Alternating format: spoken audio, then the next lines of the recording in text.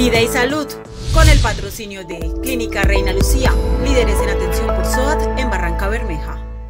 Continúan disminuyendo de a poco los casos por COVID-19 en Barranca Bermeja. Al corte de este lunes 9 de agosto, 578 son los casos activos en la ciudad. Se notificaron 57 casos nuevos y 59 fueron las personas que se recuperaron de esta enfermedad.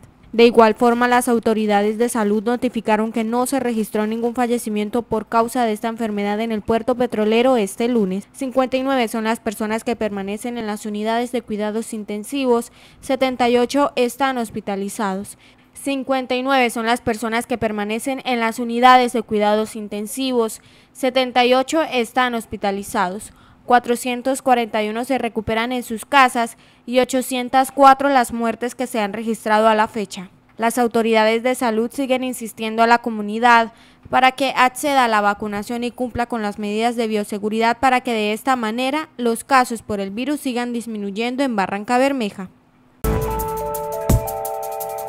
Vida y salud, con el patrocinio de Clínica Reina Lucía, líderes en atención por SOAT en.